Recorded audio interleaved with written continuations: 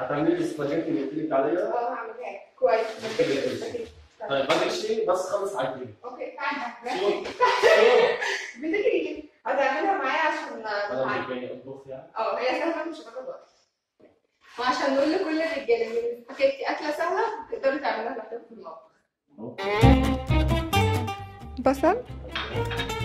وفلفل. وبهارات.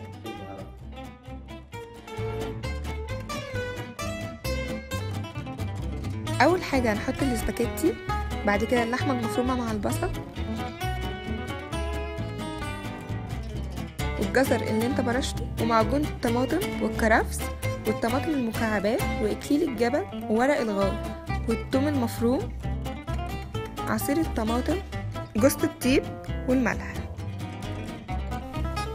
وبكده خلصت معانا وصفة البولونيز مع الاسباجيتي